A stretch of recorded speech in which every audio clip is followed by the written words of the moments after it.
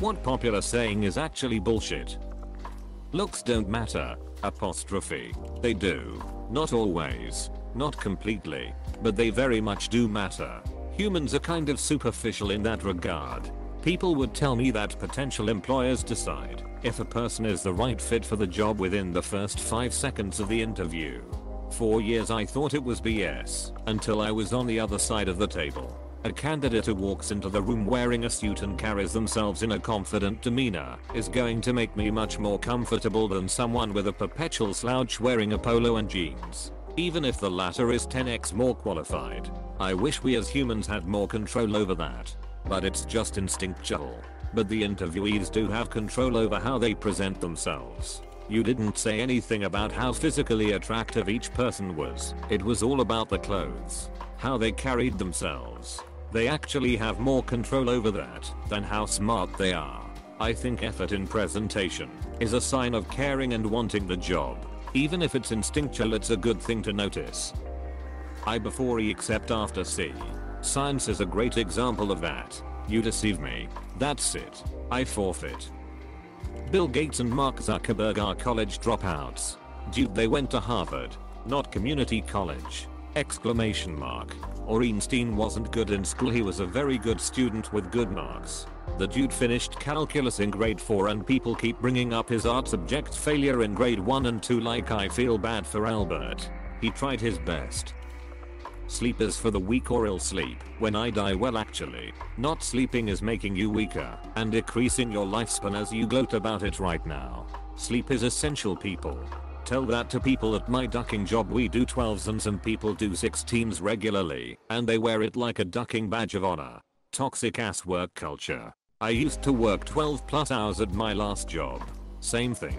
Once you tell people they act as if you're trying to insult them or their manly man ego. No, John.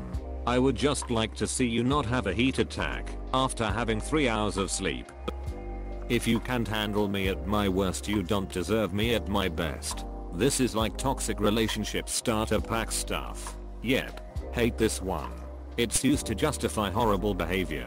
No one is entitled to treat others like shit and be excused for it. I think the meaning behind that is, if you can support someone, like your partner, while they are struggling, you don't deserve to be with them while they succeed. It's saying don't be the kind of person who is there only while things are good. But as soon as someone needs you, you leave. The customer is always right. Because half of it's missing. The full truism is a customer is always right in matters of taste. Apostrophe. Guy wants a pint of half Baileys. Half orange juice. He's paying. Lady wants to wear a raw turkey as a hat. You do you love. What it doesn't mean is that Kyle and Karen get free reign to treat people like shit because they happen to be handing over money at some stage of the interaction. I always thought of it as a variation of sell to me in my language and buy from me in yours. What it was supposed to mean is that it doesn't matter what you think is your best product. Sell what the customers buy. A good example of this in action is a company like Chock-full O Nuts. The guy started out selling roasted nuts. Due to an economic downturn, the nuts stopped selling as well. He started selling sandwiches made with the nuts instead, and coffee to draw people in to buy the sandwiches. The coffee sold much better than the sandwiches, and in time, became the only product as all the nut related stuff was dropped completely, remaining only in the name. If he had tried to stubbornly stick to what he had planned to sell, the business likely would have failed. But instead he adapted by selling what people were actually interested in buying and thrived. Do what makes you happy in regards to searching for a career. Killed my love of cooking.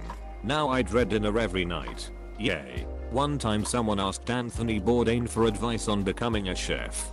His advice was, unless it's your one all consuming passion in life, don't. What you don't know can't hurt you. While yes it's technically true it's also not a positive thing. Theoretically if someone's partner was cheating on them yes they don't know, so they can't be hurt, but it's still a bad thing. I was thinking more of, I don't know there is a train coming right behind me, and that is definitely gonna hurt. I was thinking that, if I don't know food is expired that's not going to stop me from getting sick. Be yourself. If you're a ducking asshole and even the nice people hate you, then you should ducking change and not be yourself. You can achieve anything you set your mind to. I've had my mindset on instant transmission for 20 years and I haven't teleported once. Plot twist. He has teleported twice underscore. A watched pot never boils. Apostrophe. It does. I've checked. I've been watching cyberpunk trailers for about 7 years now. I'm not sure is gonna boil. So it's you. Stop watching. You are ruining it for everyone. Time heals all wounds. Malarkey. I dunno. I lost my leg, and after a decade it grew back. There's plenty of fish in the sea.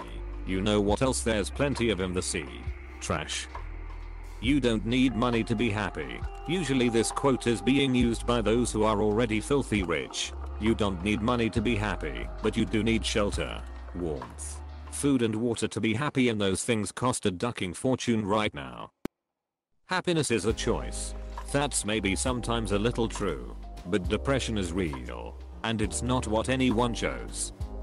An apple a day keeps the doctor away. It might keep the doctor away, but the psych ward never has enough apples to keep 5 begorlies and a nurse with a needle away. This is going to hurt me more than it hurts you. Lies. Exclamation mark. If you love something set it free. I know if you love something smother it with affection.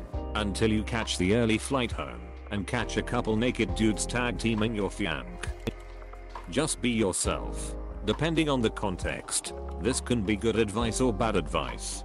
Bad advice. I really like this girl, but every time I try to talk to her, I'm a nervous mess. Just be yourself. Gee. Thanks for the non-advice. Apostrophe. Good advice. I really like this girl, but I'm worried she won't like my nerdy hobbies. Don't pretend to not have nerdy hobbies. If she doesn't like you for your nerdy hobbies, you probably don't want to be with her anyway. Apostrophe. It should be better phrased as be the best version of yourself. Don't pretend to be something you're fundamentally not. But you should always strive to improve yourself to be the best version of yourself. Apostrophe. Corollary. If you don't like who you are, change. If you're an asshole, definitely don't be yourself. Instead be someone that's not an asshole.